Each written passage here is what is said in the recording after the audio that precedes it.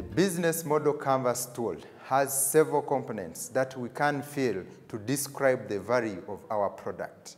One of these is the end user. The end users are the people directly interacting with your solution and oftentimes paying for it. An example for this is if you're developing an app for diagnosing malaria, the end user in this case could be the Ministry of Health, which could be able to pay for this product. While filling this section, the end user section, these are some of the questions you could ask. For whom are we creating value for?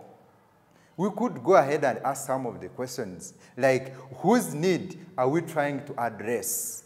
If it is your the app for malaria diagnosis, whose need are you trying to address? Is it the need of the local person? Whose need is it? The other question could be, which end user has the greatest opportunity for social, environmental, and economic impact looking at your product? So that's, uh, those could be some of the questions you could ask as you fill the section on the end users.